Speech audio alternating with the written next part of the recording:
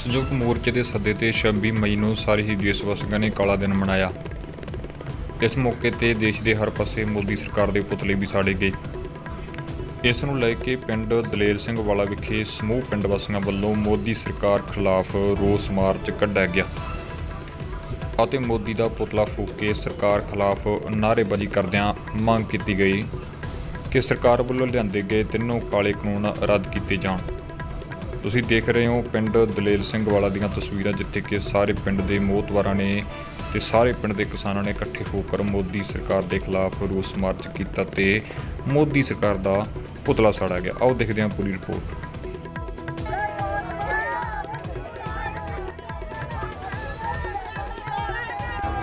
ਖੜਾ ਜਾ ਕਰਦੇ ਮਗਰੋਂ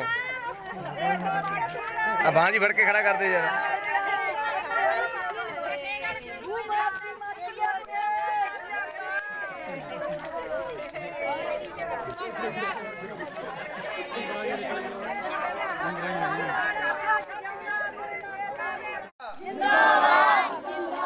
ਭਾਰਤੀ ਕਿਸਾਨ ਯੂਨੀਅਨ ਏਕਤਾ ਅਗਰਾਹ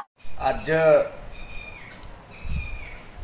ਸਮੁੱਚੇ ਕਿਸਾਨ ਜਥੇਬੰਦੀਆਂ ਅਤੇ ਸੰਯੁਕਤ ਕਿਸਾਨ ਮੋਰਚੇ ਵੱਲੋਂ ਜੋ ਕਿ ਮੋਦੀ ਸਰਕਾਰ ਨੇ ਸਾਡੇ ਤੇ ਕਾਨੂੰਨ ਥੋਪੇ ਨੇ, ਉਹਨਾਂ ਨੂੰ ਰੱਦ ਕਰਵਾਉਣ ਦੇ ਲਈ ਅੱਜ ਅਸੀਂ ਨਾਗਰ ਦਲੇਲ ਸਿੰਘ ਵਾਲਾ ਵਿਖੇ ਅਸੀਂ ਇਹ ਆਰਥੀ ਫੂਕ ਮੁਜ਼ਾਹਰਾ ਕੀਤਾ, ਜਿਹਦੇ ਵਿੱਚ ਬਹੁਤ ਭਾਰੀ ਗਿਣਤੀ ਵਿੱਚ ਲੋਕਾਂ ਨੇ ਸ਼ਮੂਲੀਅਤ ਕੀਤੀ ਹੈ ਤੇ ਸਮੁੱਚੇ ਹਿੰਦੁਸਤਾਨ ਦੇ ਵਿੱਚ ਅੱਜ ਮੋਦੀ ਸਰਕਾਰ ਨੂੰ ਇੱਕ ਸੰਦੇਸ਼ ਜਾਊਗਾ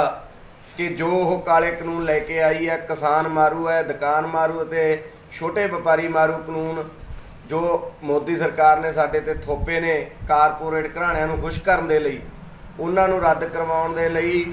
ਅੱਜ ਅਸੀਂ ਕਾਲਾ ਦਿਵਸ ਮਨਾ ਰਹੇ ਹਾਂ ਤੇ ਅੱਜ ਸਾਨੂੰ 6 ਮਹੀਨੇ ਹੋ ਗਏ ਨੇ ਦਿੱਲੀ ਦੇ ਬਾਰਡਰਾਂ ਤੇ ਤੇ ਅਸੀਂ ਇਸ ਮੋਦੀ ਸਰਕਾਰ ਨੂੰ ਦੱਸ ਦੇਣਾ ਚਾਹੁੰਦੇ ਹਾਂ ਕਿ 6 ਮਹੀਨੇ ਹੋਣ, ਚਾਹੇ ਸੇ ਸਾਲ ਹੋਣ, ਅਸੀਂ ਇੱਥੋਂ ਹਟਣ ਵਾਲੇ ਨਹੀਂ ਅਤੇ ਇਸ ਮੋਦੀ ਸਰਕਾਰ ਜੋ ਅੱਜ ਆਪਣਾ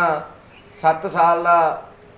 ਕਾਰਗੁਜ਼ਾਰੀ ਦੇ ਸੰਬੰਧ ਵਿੱਚ ਫੰਕਸ਼ਨ ਕਰਨਾ ਚਾਹੁੰਦੀ ਹੈ, ਅਸੀਂ ਦੱਸਣਾ ਚਾਹੁੰਦੇ ਆ ਵੀ ਇਹਨੇ ਕਿੰਨੇ ਕੁ ਚੰਗੇ ਕੰਮ ਕੀਤੇ ਨੇ। ਇੱਕ ਵੀ ਫੈਸਲਾ ਲੋਕ ਹਿੱਤ ਵਿੱਚ ਨਹੀਂ ਲੈਤਾ, ਸਾਰੇ ਕਾਰਪੋਰੇਟ ਘਰਾਣਿਆਂ ਨੂੰ ਖੁਸ਼ ਕਰਨ ਦੇ ਲਈ ਹੁਣ ਤੱਕ ਇਹਨਾਂ ਨੇ ਫੈਸਲੇ ਲੈਤੇ ਨੇ। ਅਤੇ ਹੁਣ ਹਰ ਇੱਕ ਵਰਗ ਇਹਨਾਂ ਤੋਂ ਬੜਾ ਦੁਖੀ ਹੈ। ਅੱਜ ਸਾਡਾ ਨਗਰ ਵੀ ਦੇਖ ਸਕਦੇ ਹੋ ਤੇ ਸਮੁੱਚੇ ਇੰਡੀਆ ਦੇ ਵਿੱਚ ਅੱਜ ਹਰ ਥਾਂ ਤੇ ਮੋਦੀ ਦਾ ਪੁਤਲਾ ਫੂਕਿਆ ਜਾ ਰਿਹਾ ਹੈ, ਜੋ ਕਿ ਅਸੀਂ ਵੀ ਦਲੇਰ ਸਿੰਘ ਵਾਲਾ ਨਗਰ ਦੇ ਵਿੱਚ ਇਸ ਸਰਕਾਰ ਦਾ, ਮੋਦੀ ਦਾ, ਪ੍ਰਧਾਨ ਮੰਤਰੀ ਦਾ ਅਸੀਂ ਅੱਜ ਪੁਤਲਾ ਫੂਕ ਰਹੇ ਹਾਂ। ਧੰਨਵਾਦ।